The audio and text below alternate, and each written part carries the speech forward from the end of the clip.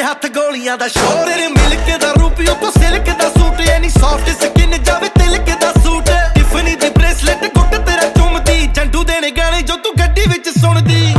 Pant ਉਸ Burj Khalifa, ਸਾਰੀ life ਕਰੇਗੀ ਤਾਰੀਫਾ। Private ਜੱਟ ਖੜਾਏ ਦੱਸ ਕੀ ਦੂਰੀ ਅਮਰੀਕਾ।